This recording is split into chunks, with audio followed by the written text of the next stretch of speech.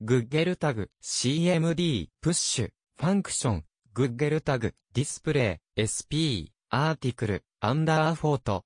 これが、世界最高峰の舞台で戦ってきた男の力なのか。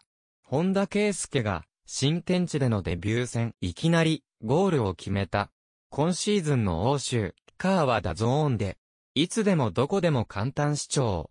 1ヶ月、両お試し実施中、リトアニア一部リーグ第30節、ス・ドゥバタイバンガが現地時間26日に行われ、4、0、スードゥバが勝利した。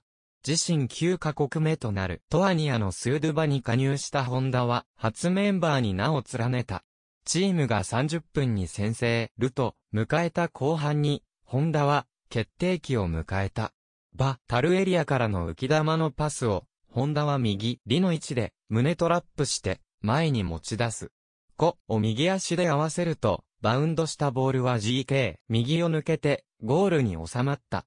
ホンダには相手、手が寄せていた。しかし、ホンダのトラップはソが届かない、完璧な位置へと、コントロール差、シュートまでの動作にも無駄はなかった。セ A、UEFA チャンピオンズリーグ、FIFA ワールドカップな最高峰の舞台で戦ってきた男は、デビュー戦、結果を残した。また、この試合ではバンガにところ、する。吉川昭和大喜利との日本人対決が実現。スウェー、金沢で、プレー経験のある吉川は、昨年からンガに所属している。